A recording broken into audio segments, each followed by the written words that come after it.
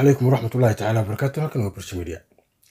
Waraysi uu qaaday sadiiq burmad oo markaasi wakiil uga ah b b c da ayaa waraysi la yeeshay musharaxa xisbigaasi wadani mudane cabdiraxmaan maxamed cabdilaahi ciro. Qodobada halkaa lagu soo qaaday waxaa ka mid ah maruu ka hadlayay xeer fourteen oo sheegay in ururada markii uu weydiiyey sadiiq iyo asxaabta maxaa ku diidantihiin arrintaas wuxuu kaga jawaabay cabdiraxmaan. Xeer ninety one ayaa dhigaya saddex doorasho oo keliya marka anagu ma diidanin kamana baqayno laakiin waxaa laakiin meesha ku taallaa. Run ahaantii markaynu isweydiino urur marka la diiwaangeliyo muxuu u tartamayaa? Ururnimadii muxuu doonaya inuu kaga baxo? Soo inuu xisbiisu bedela maaha? Marka inta badan laysilowsiinayaa horta waa ka xeer ninety one-na horeynu u faalaynay. Haddana nahay bahda burji media wuxuu dhigayaa boqol iyo labaatan cisho haddii soo gaadho iyo bal in komishinkii la soo magacaabo la fool eriyo oo iyadana faaladeydii tan ka horreysaan ku soo darnay iminkase arrintu waxay maraysaa in xisbiyadii mucaaradka ahaa ay hawshoodii nooc kale ama weji kale yeelatay taasoo mudaharaadna maanta dhacay midna loo ballaansan yahay sabtida kaana aynaan garanayn haddii ilaahay nafteenu daay bal waxaa ka bixi doonaa iyo bal waxyaabaha laga fafaalayn karo oo noqonaysa ilaa iminka oo britula jimca ay tahay inaan weli cid ka arrintaasi oo diyaar u ah bal in ay arrimahaasi qaboojiyaan ama bal ay isugu soo dabaalaan meel dhexe. Qoladana markaad eegto xisbiyada mucaaradkana xisbigan wadani ee gudoomiyiisa la warsanaya oo ahaa xisbigii imika ugu horreeyay komishanka celintooda u gudbiyey madaxweynaha xubintoodii. Loogu filayna in guursadayay madaxweynaha iyo cidna ay ku xigsiiyaan dabeetana bal hadda waqtiga ka hadhay muddada loogu talagalay inay hawshaasi ku qabsoonto in bal hadda la gaarsiiyo laakiin tii waxaa ka soo hormaray mudaharaadka maanta oo isaguna u sii qoday ubab dheer. Arrintii rajada laga qabay iyo ifafaalihii ka soo muuqday bal in xal laga gaari karo haddii arrintaasi la daboolo. Burji media oo kule fadlan sabskaraabkana ha iloobin macluumaadka inta badan iyo warbaahimaha kala duwan ee la qaadayo ee soo kordhayana. Mid walba waxaanu diga soo kordhin doonaa ama diga soo baahin doonaa intii aanu ka gaari karno. Wasalaamu calaykum waraxmatullahi tacaala wabarakaatu banaanbixiisaaka magaalada hargeysa aad ka dhigteen ee weliba adigu aada horkacaysay sida uu dhacay? Saaka qorshe iyagu maaha inaan mudaharaad samayno. Sidaa ka warqabtaana maanaan iclaamin mudaharaad. Maantaanu iclaamin. Maanta waxay ahayd dad dee taageerayaasha ka mid ah axsaabta qaranka oo doonayey bal nooca isu soo baxa uu noqonayo iyo in looga waramo iyo waxaanu doonayno inaan u sheegno fariimaan fariimaan rabni inaan u sheegno. Fariimahaasina waxay ahaayeen si nabada ku soo baxa si nabadgelyaha ku mudaharaada. Cidna dhibaato ha u geysanina dad iyo xoolo iyo midna ha u geysanina dabeetana xukuumaddii iyo booliskii intaynan xukuumadda gaadhin musharax madaxweyne waxaad iga warantaa saaka mudaharaadka.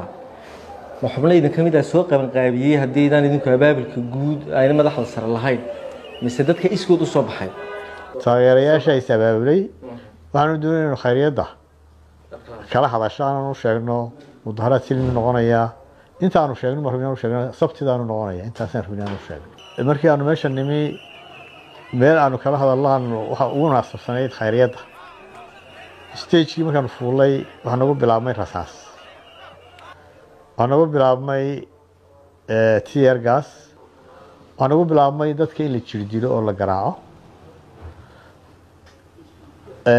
Rasaastaa dee lifeka ah lagu ridayay dadkana dad ay dhaawacdo oo la taliyahaygii meediga ku jiro muniir axmed cigaal ayaa ka mid ah dad badan oo uu dhaawacay bahali kale la tuurayay dadka ka ilmaysiinayeyna uu dhaawacyo badan u geystay baa ka ah xildhibaan barkad baa ka mid ah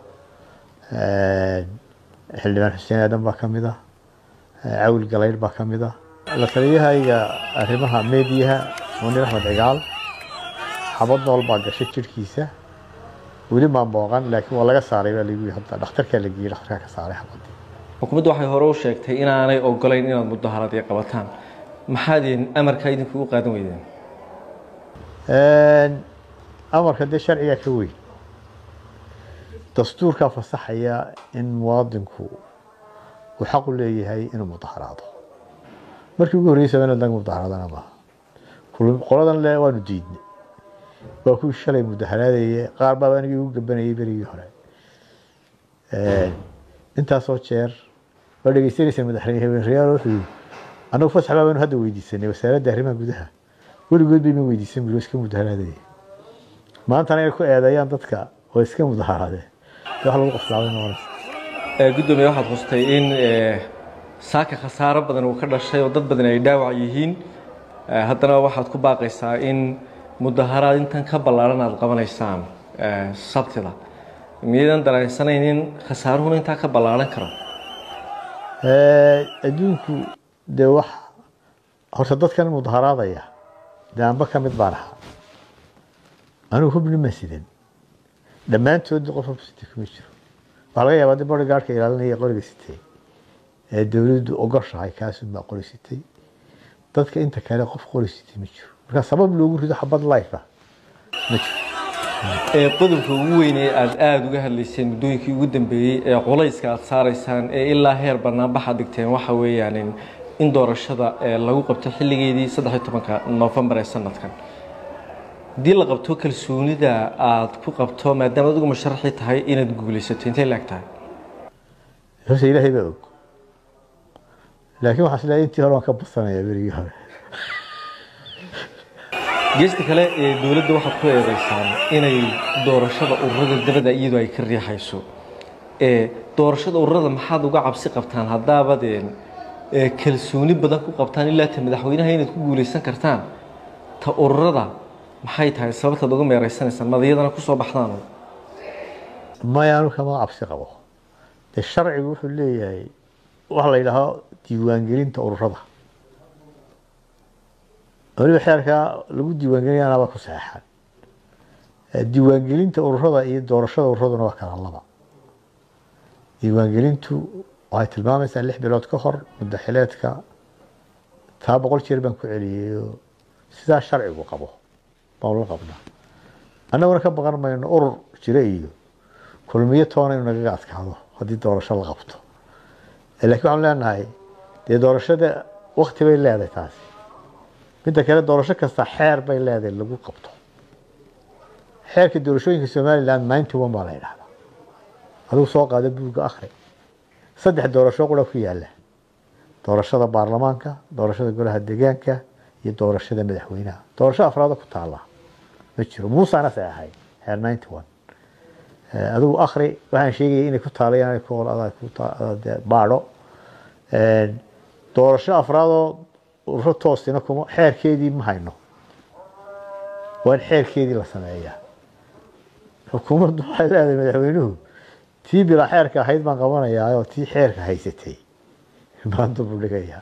Dee taasina suurtageli mayso bal qorshihiina mudaharaadyada dambe sabtida ka bilaabmaya iyadana wax nooga faahfaahay annagu waxaan ku dhawaaqnay in dalka oo dhan ka dhacayo. Inuu dariiq kasta ka dhici karo muwaadinka gurigiisu isla hortaagi karaa mudaharaadka keligii isagoo ah. Marka de annagu waxaan ku dhawaaqnay in dalka oo dhan ka dhici karo guri kasta ka dhici karo jid kasta ka dhici karo muwaadiniintana haddii aanu ka ilaalinay inaan ugu baaqno mudaharaad